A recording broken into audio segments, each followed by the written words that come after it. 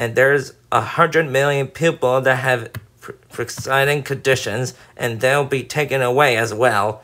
Those pre-existing conditions, the insurance companies are going to love this, and so it's just not appropriate to do this before this election. If he wins the election and the Senate in Democrat or Republican, then it, he goes forward. If not, we should wait until February. He's elected until the next election.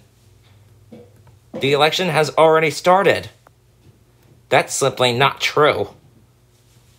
Open discussions.